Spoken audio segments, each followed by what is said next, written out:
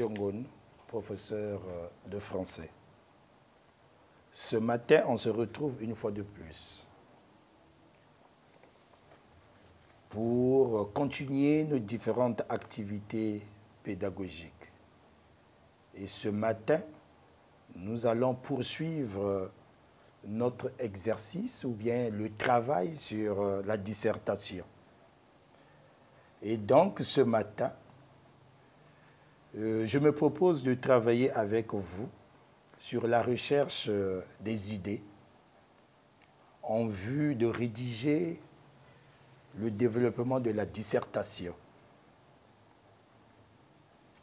Et comme nous le savons tous, qu'avant toute rédaction du développement d'un sujet, l'élève est appelé à élaborer un répertoire d'idées, des arguments et des exemples afin de mieux convaincre le correcteur.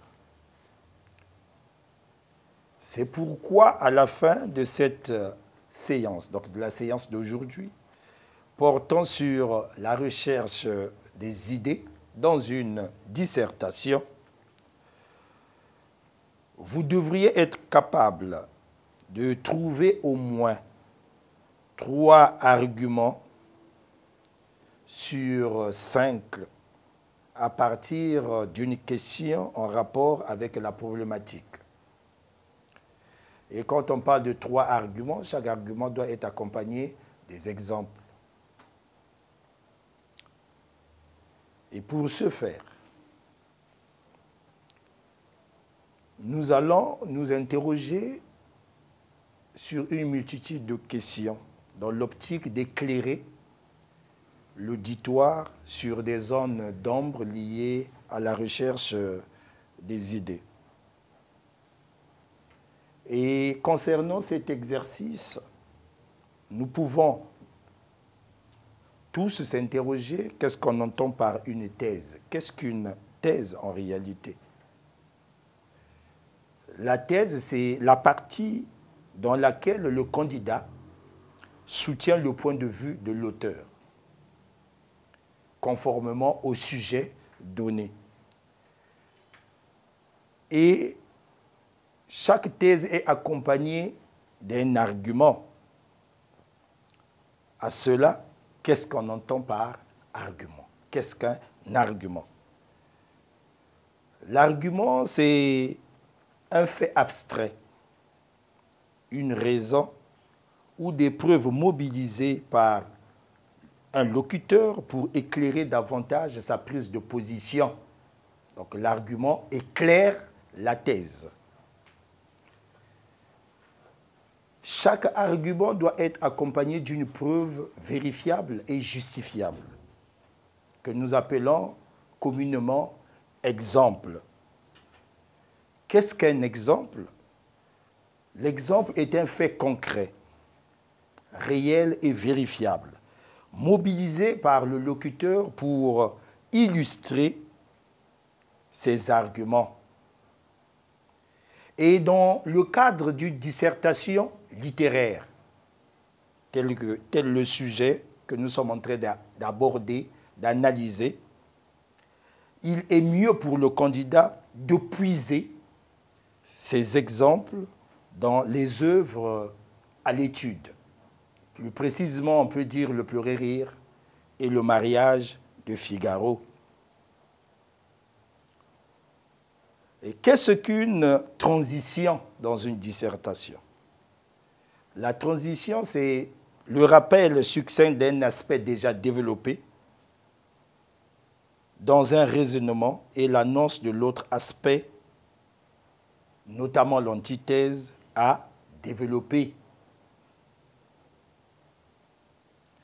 À quoi renvoie la synthèse dans une dissertation Dans le cadre de la dissertation, la synthèse rapproche les points de vue et ouvre la voie au dépassement du travail déjà amorcé.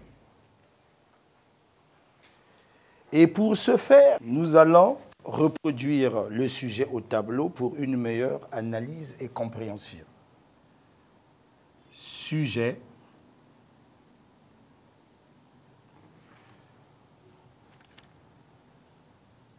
Un critique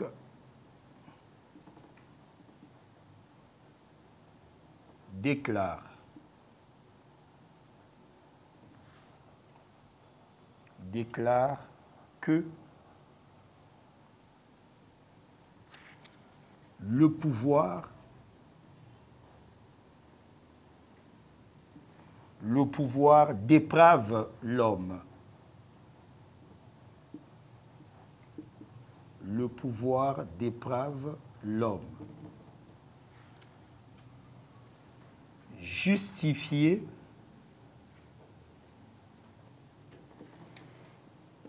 justifier cette assertion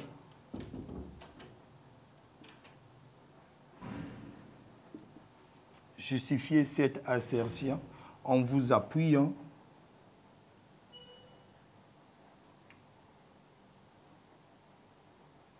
en vous appuyant sur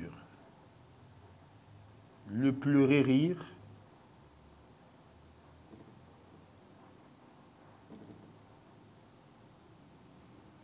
le pleurer rire d'Henri Lopez.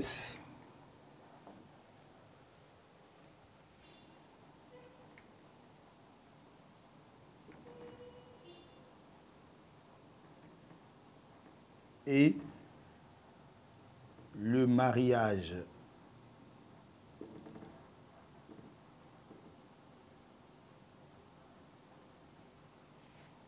de Figaro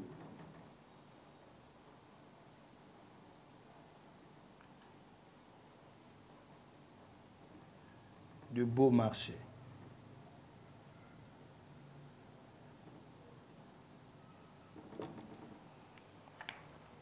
Nous venons de reproduire le sujet au tableau. Nous allons le lire. Un critique déclare que le pouvoir déprave l'homme. Justifiez cette assertion en vous appuyant sur le pleurir d'Henri Lopez et le mariage de Figaro de Beaumarchais.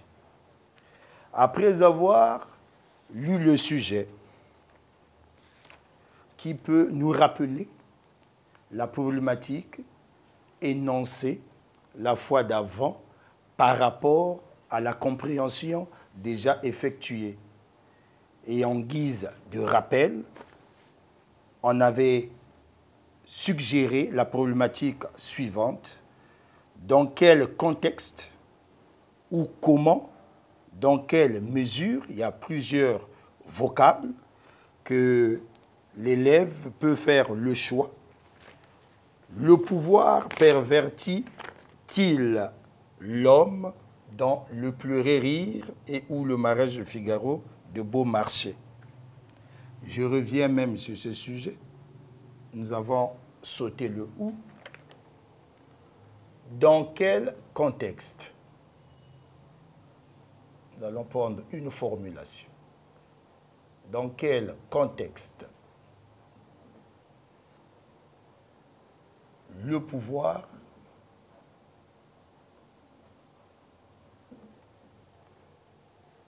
dans quel contexte le pouvoir pervertit pervertit-il l'homme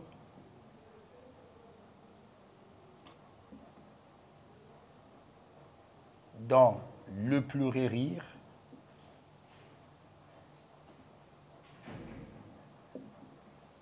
d'Henri Lopez,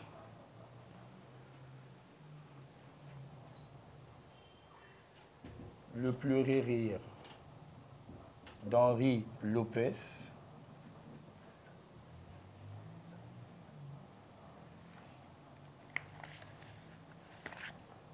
et le mariage de Figaro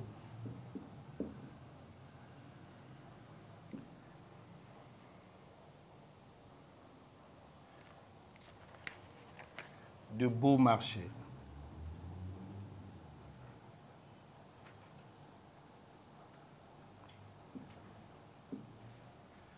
Dans quel contexte le pouvoir pervertit-il l'homme? Dans le pleurer rire d'Henri Lopez et le mariage de Figaro. Et où? Le mariage et où? Dans le mariage de Figaro Et où?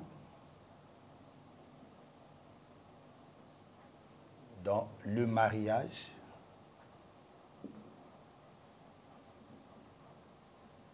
Et où? Dans le mariage de Figaro. De Beaumarchais.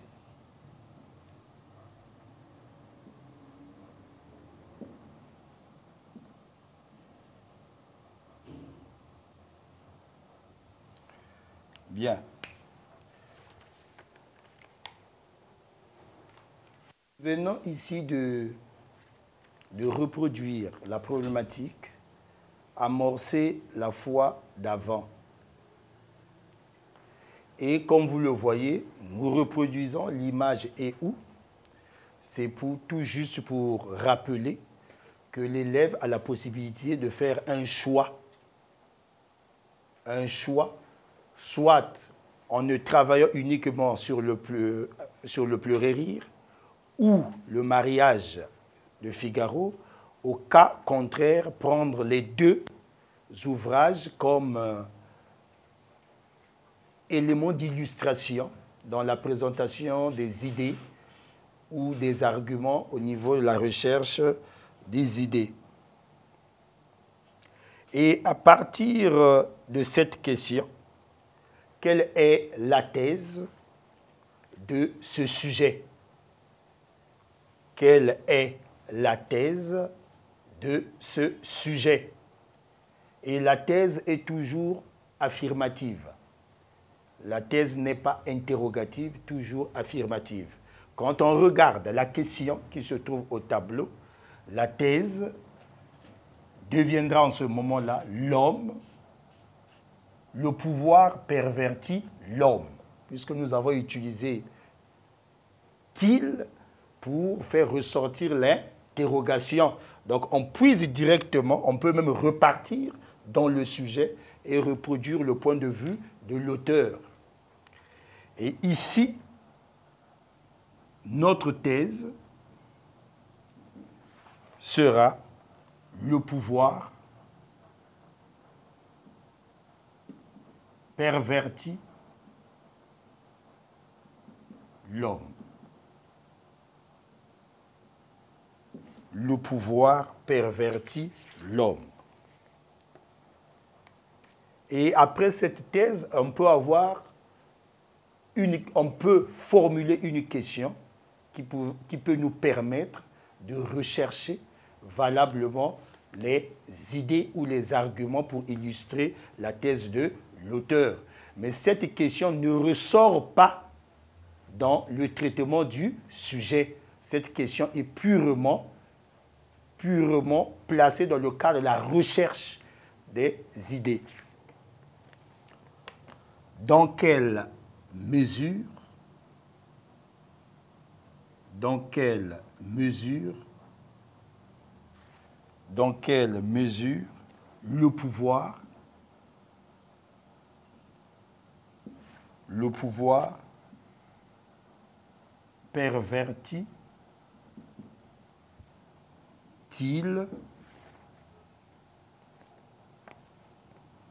l'homme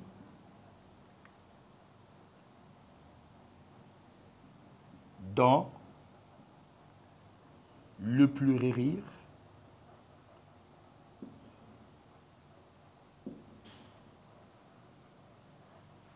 d'Henri Lopez.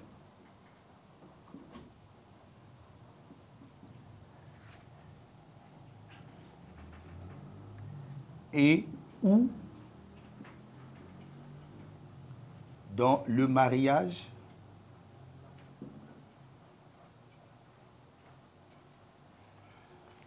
Dans le mariage de Figaro.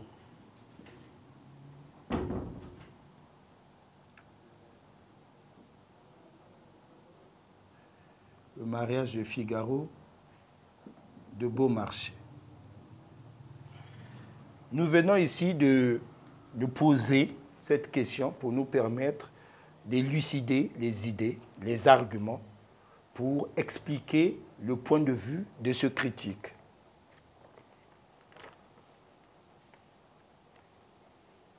Et quels sont les éléments, après avoir lu Le pleurer rire, après avoir lu Le mariage de Figaro, qui peuvent nous permettre de justifier ce point de vue Le pouvoir pervertit-il l'homme? Quand on parle du pouvoir, à qui faisons-nous allusion, conformément à ces deux œuvres? Dans Le pleurer celui qui gère le pouvoir, c'est Boakamabe, Nasakade, encore appelé Tonton, et ainsi de suite. Dans le mariage de Figaro, le garant du pouvoir, c'est le comte Almaviva. Ça veut dire que nous allons nous apaisantir sur ces deux personnages, les deux œuvres, pour montrer comment ce que le pouvoir les a transformés. Une fois arrivés au pouvoir, comment est-ce qu'ils se sont comportés. C'est dans cette logique que nous allons traiter, aborder ou traiter cette question. Et par rapport à cela, quelle est l'idée, après avoir lu les deux œuvres au programme, qui démontre que ces deux personnages ont bel et bien été transformés par le pouvoir?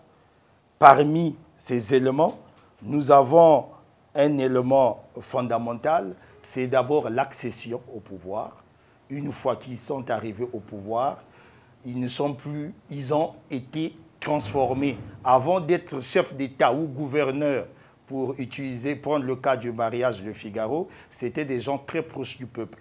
C'était des gens qui échangeaient avec le peuple. C'était des gens qui peut-être avaient des idées qui valorisaient l'image sociale, qui c'était des gens qui incarnaient l'espérance d'une société. Mais une fois au pouvoir, ils ont totalement changé. Ils se sont éloignés du peuple. Et on peut se servir de cet élément. Et qu'est-ce qu'on constate? Pourquoi Pourquoi nous sommes arrivés à cette conclusion? On peut regarder les deux œuvres. Euh, quand Tonton arrive au pouvoir, il ne veut plus écouter les gens, il ne fait qu'à sa tête.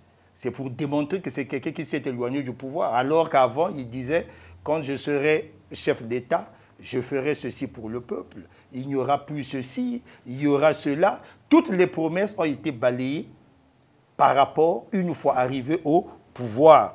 Et dans le mariage de Figaro, c'est pratiquement la même chose. Le comte aussi, une fois gouverneur, prend toutes les décisions sans consulter le peuple ou sans consulter les autres. Et à partir de là, on peut déjà formuler notre argumentaire. Argument 1. en abrège, qui veut dire argument 1, en accédant, en accédant au pouvoir, en accédant au pouvoir, certains dirigeants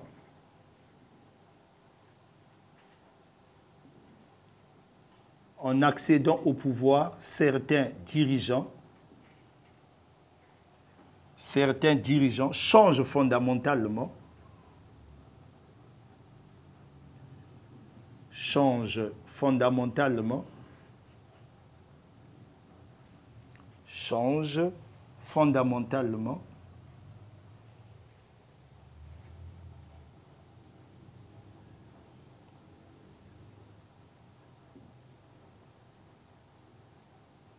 Change fondamentalement de, comportement.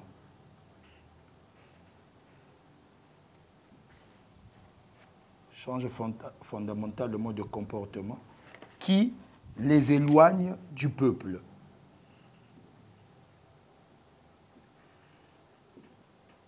Qui les éloigne du peuple.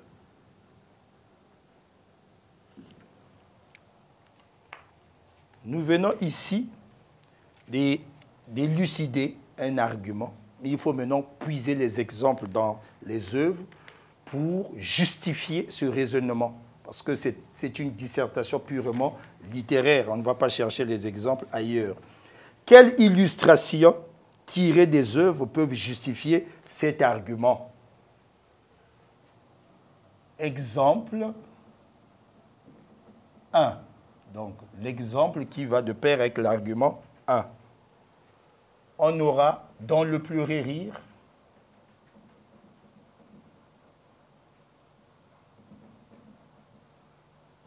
dans le pleurer rire, virgule,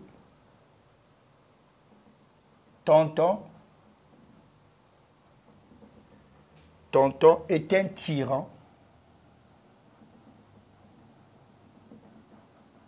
Tonton est un tyran qui n'accepte pas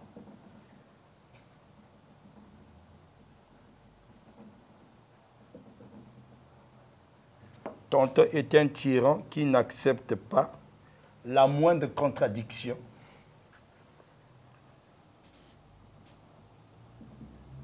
La moindre contradiction.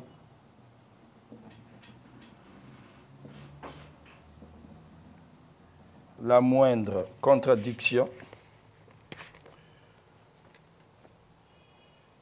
Virgule, même pas même pas de conseil.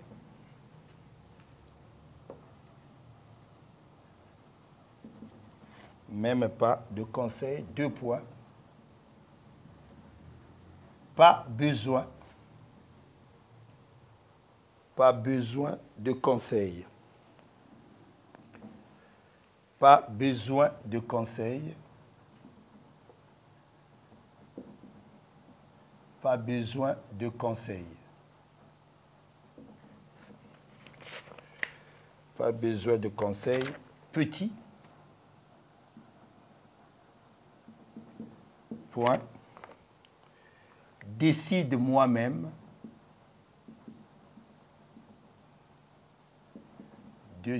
Décide moi-même. Point. Sinon, plus la peine Sinon, plus la peine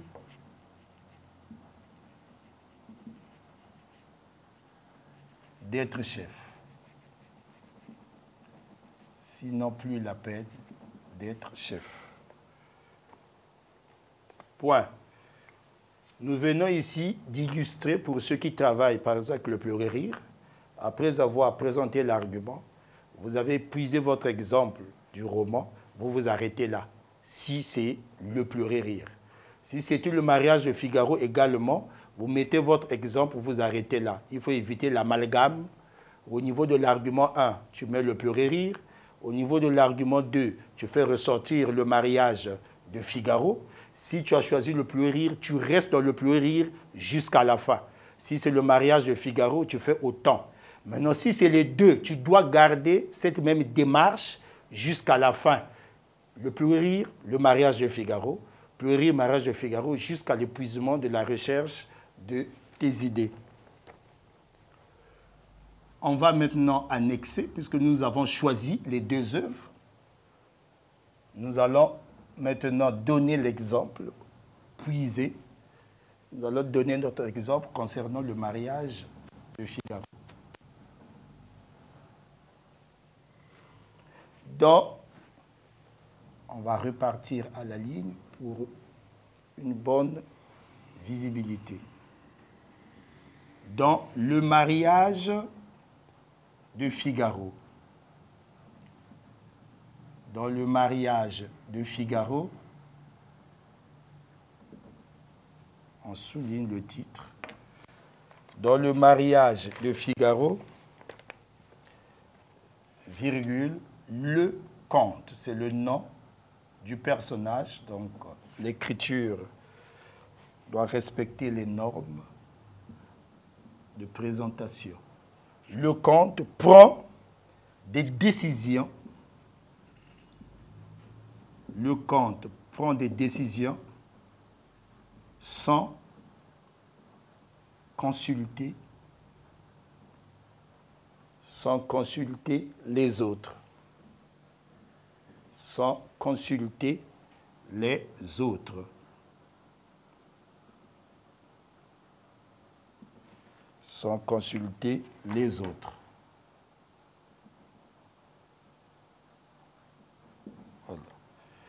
Nous venons ici d'illustrer également l'exemple puisé du mariage de Figaro. C'est sûr que vous allez vous poser la question, pourquoi ici il y a une citation? Dans le mariage de Figaro, c'est une phrase. Il n'y a pas une obligation pour l'élève de reproduire la citation. On peut se servir des éléments clés, on les énumère, ça fait aussi office d'exemple. Et par rapport à cet argument, nous venons de justifier, de donner nos exemples. Nous allons continuer notre recherche des idées.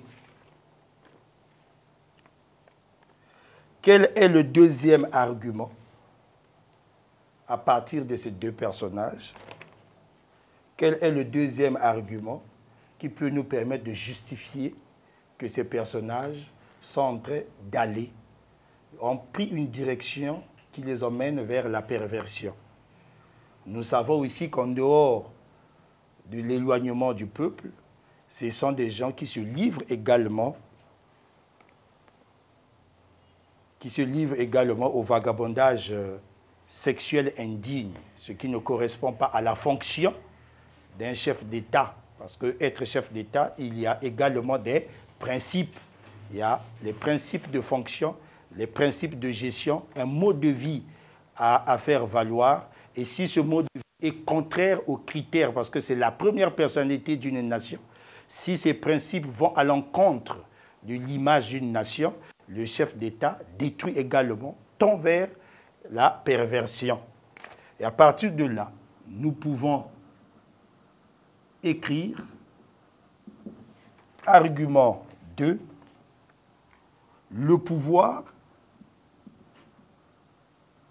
le pouvoir devient alors le pouvoir devient alors le pouvoir devient alors un canal, donc un moyen, un canal pour se livrer, pour se livrer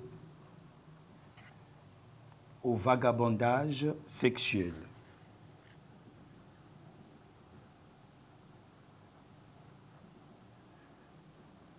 Au vagabondage sexuel indigne. Indigne de la part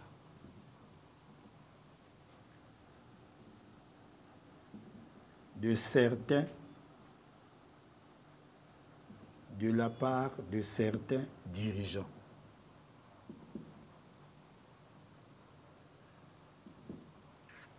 Point. Quels sont les exemples qui éclairent cet argument? Exemple 2. Dans le pleurer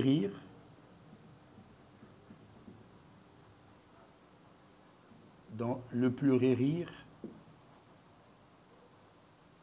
virgule, tonton entretien,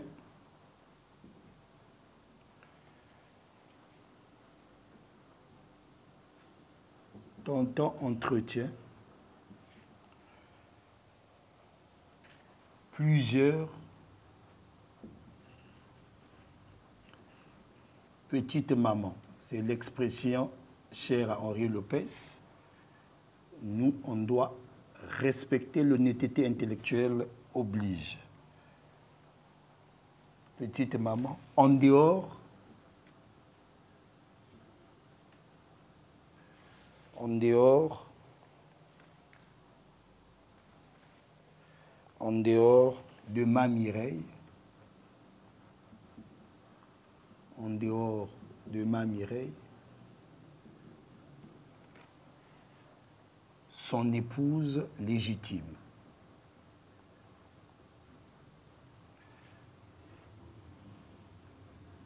Son épouse légitime.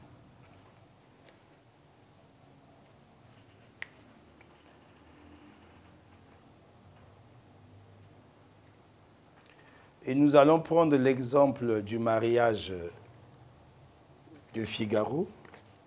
Pour ce faire, on disait qu'on va poursuivre notre recherche dans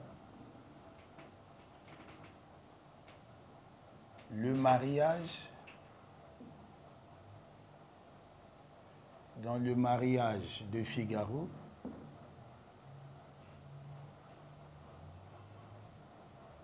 dans le mariage de Figaro, le comte,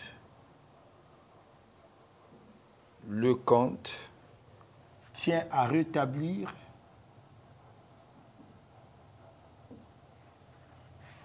tient à rétablir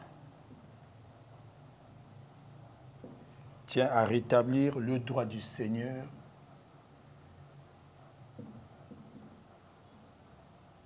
le droit du Seigneur sur Suzanne. Sur Suzanne, point virgule, il convoite, il convoite également il convoite également la petite Fanchette.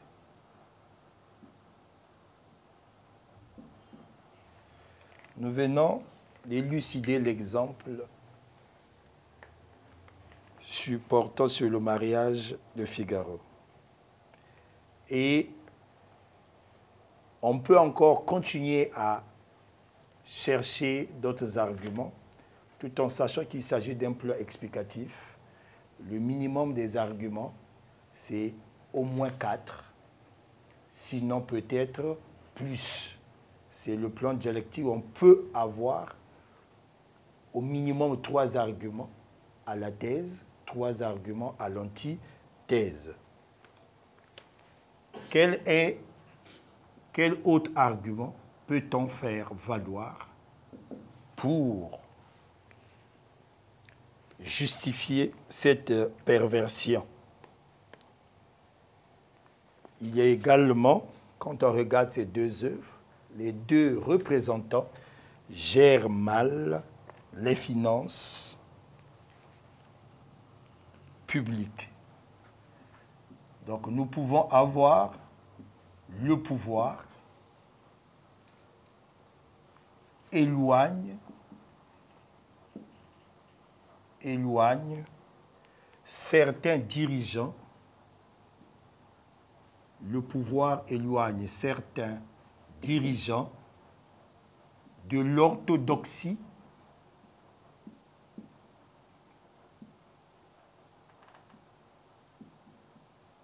de l'orthodoxie financière. C'est-à-dire, c'est-à-dire, c'est-à-dire de la bonne gestion, c'est-à-dire de la bonne gestion, c'est-à-dire de la bonne gestion des finances publiques.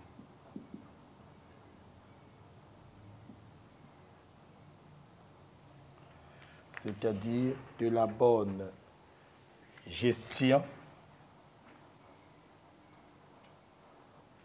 des finances publiques. Publiques. Quels sont les éléments qui renforcent, les exemples qui renforcent cet argument? Exemple 3. Dans le pleurer rire, dans le pleurer rire, Tonton réalise, Tonton réalise, Tonton réalise des projets très coûteux.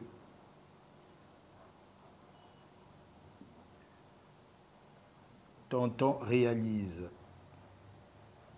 des projets très coûteux, mais non rentables.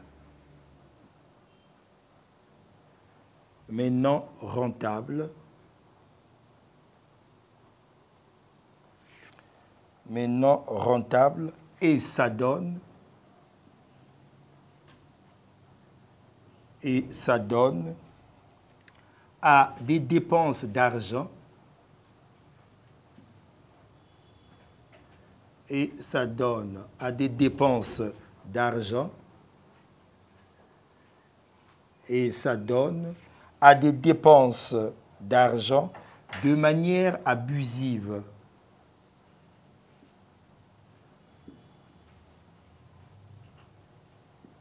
De manière abusive pour des besoins personnels. Pour des besoins personnels.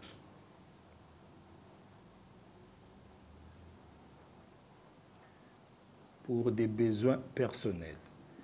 Quelles sont les dépenses abusives que Tonton a pu faire? Nous avons deux points. La construction, la construction, la construction la construction,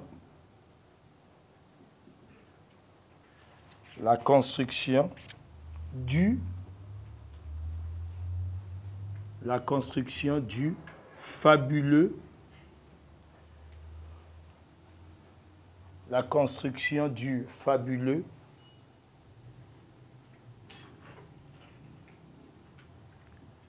la construction du fabuleux palais palais de 75 milliards.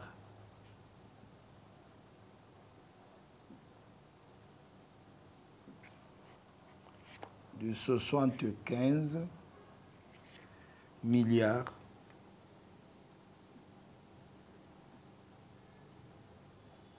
de 75 milliards que l'on construit encore au pays.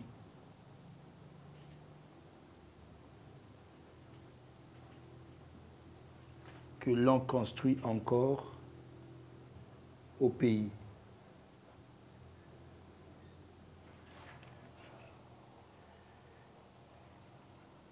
Virgule.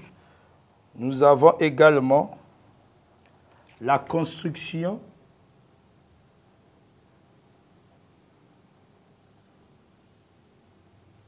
la construction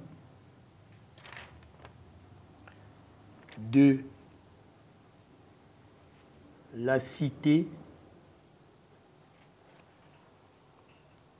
du 1er avril.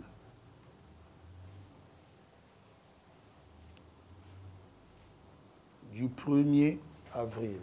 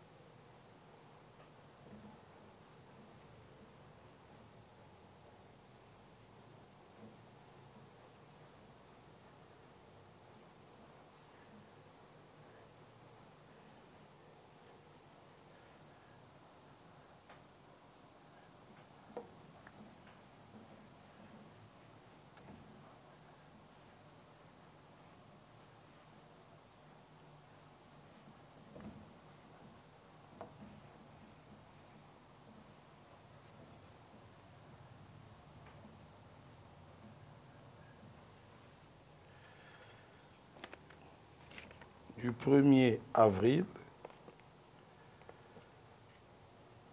nous avons aussi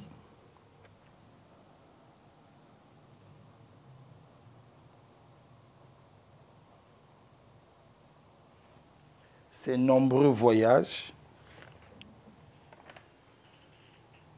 Nous avons aussi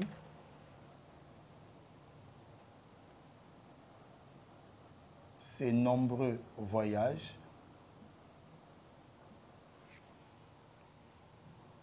Ses nombreux voyages. Ses nombreux voyages à l'étranger. Ses nombreux voyages à l'étranger.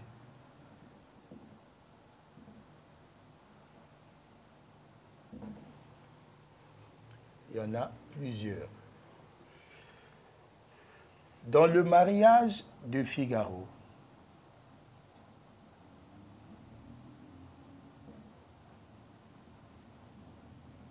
dans le mariage de Figaro,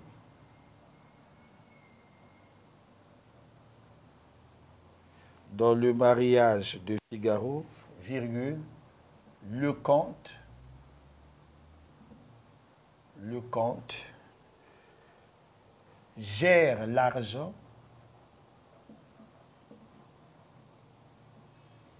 gère l'argent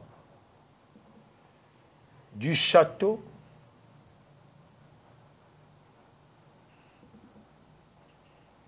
gère l'argent du château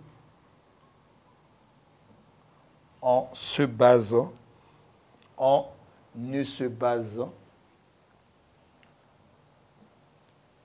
en ne se basant, en ne se basant que sur son seul vouloir, sur son seul vouloir, et l'on note, et l'on note l'absence d'une grille salariale.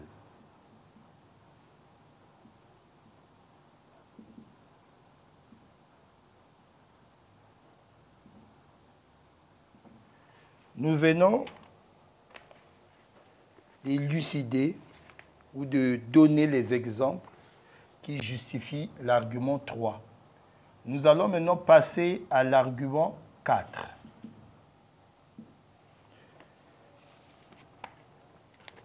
Quel élément de l'ouvrage peut nous permettre de rédiger cet argument? Nous allons ici nous baser sur le caractère démagogue et dictatorial de certains dirigeants une fois au pouvoir. C'était des gens simples, très ouvertes, mais depuis qu'ils sont arrivés au pouvoir, ils ont changé de mode de gestion. Ils sont passés à l'humilité, de l'humilité à la démagogie. Et ici, on peut dire que certains dirigeants, certains dirigeants, même lorsqu'ils sont élus, même lorsqu'ils sont élus, démocratiquement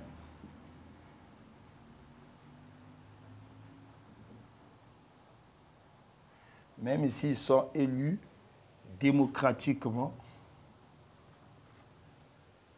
même s'ils sont élus.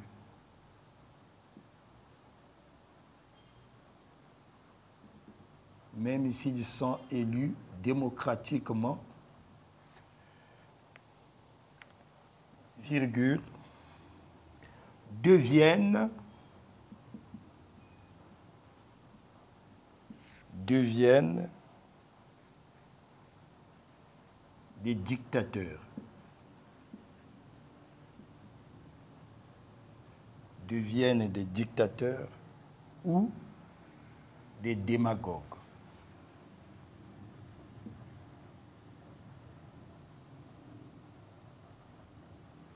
ou des démagogues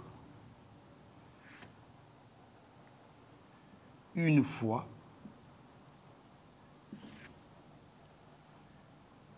installés au pouvoir.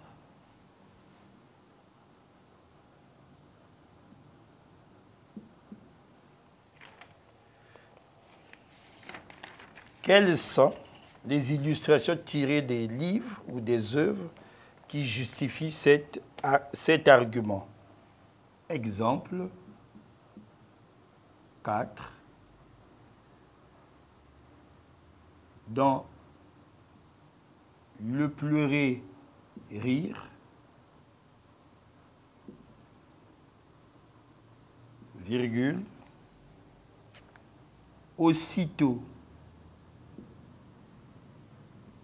aussitôt après son accession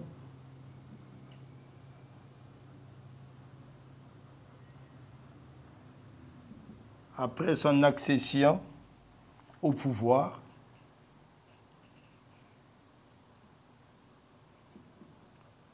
Tonton, Tonton donne un coup d'arrêt.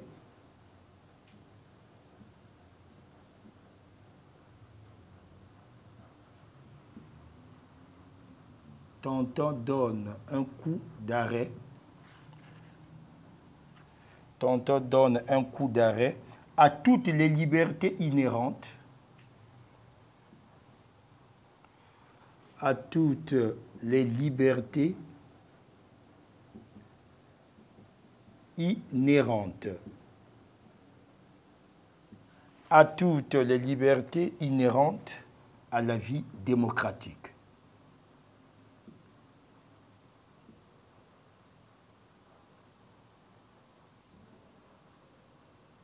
À la vie démocratique. Deux points. Plus de multipartisme. Plus de multipartisme. Virgule. Plus d'opposition.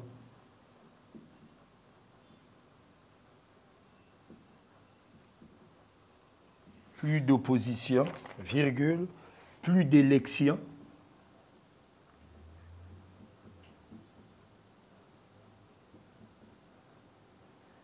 Plus d'élections, virgule, de liberté d'expression.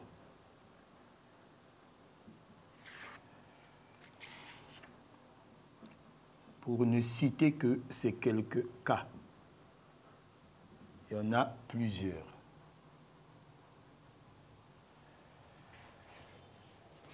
Et nous allons prendre l'illustration du mariage de Figaro.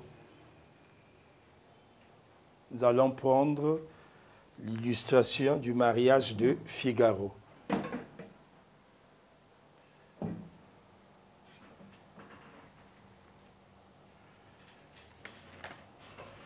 Dans le mariage de Figaro.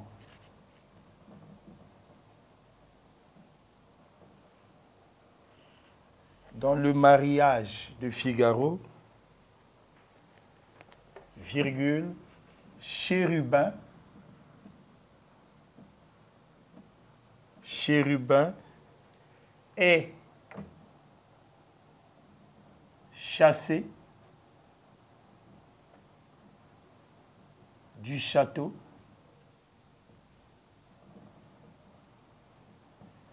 du château sans lui accorder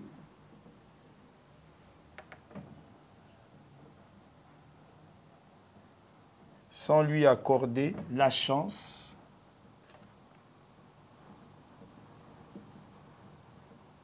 de s'exprimer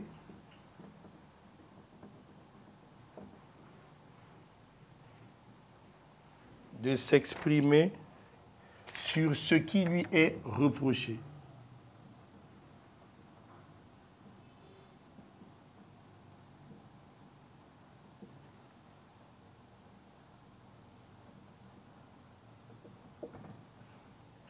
Donc chérubin est chassé par le comte, c'est aussi le manque de liberté d'expression.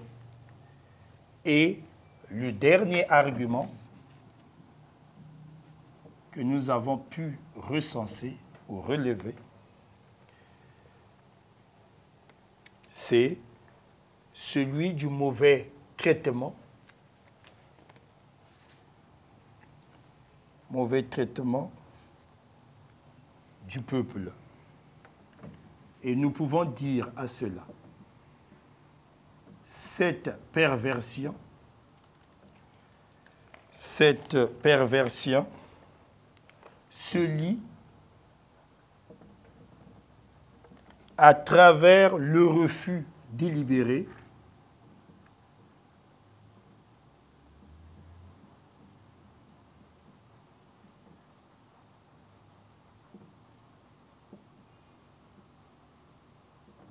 à travers le refus délibéré de certains dirigeants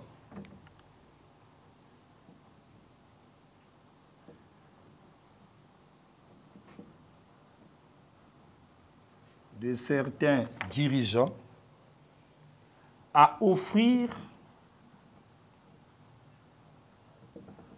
à offrir des emplois à offrir des emplois bien rémunérés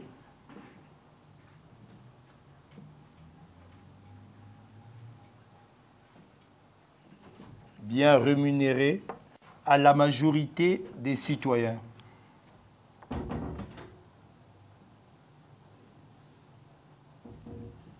À la majorité des citoyens. Point.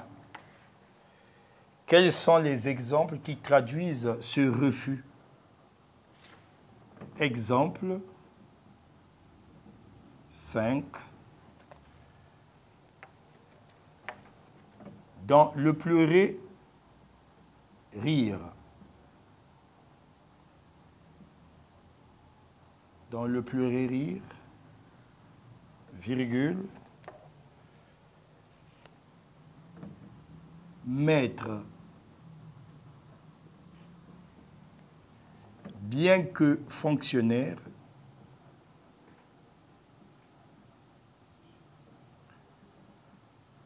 bien que fonctionnaire, à la présidence de la République.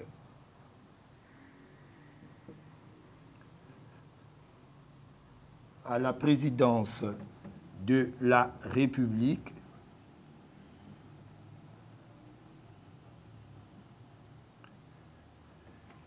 à la présidence de la République ne compte que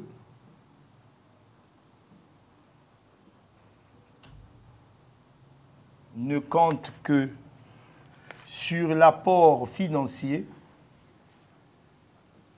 ne compte que sur l'apport financier ne compte que sur l'apport financier de ma Mireille. Ne compte que sur l'apport financier de ma Mireille.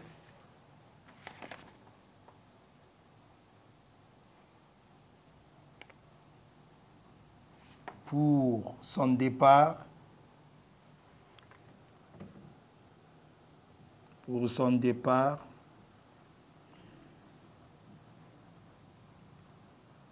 en exil. Et dans le mariage de Figaro,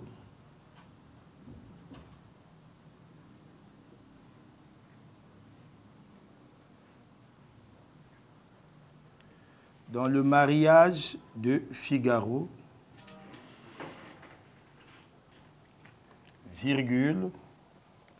Suzanne est dans l'incapacité, dans la totale incapacité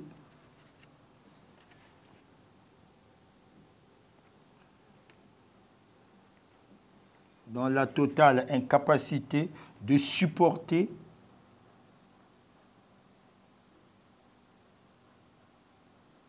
sa dot, sa propre dot.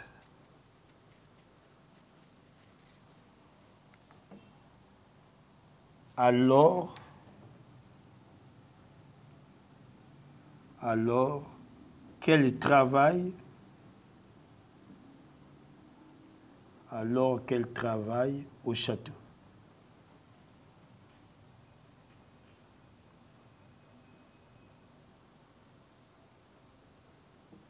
Voilà un exemple. L'on peut aussi s'arrêter là. Il y en a bien d'autres. Nous venons ici d'achever notre travail portant sur la recherche des idées. Mais fait ainsi, c'est tout juste pour vous dire que le devoir n'est pas rédigé. Nous sommes encore au brouillon, en train de rassembler les éléments nécessaires.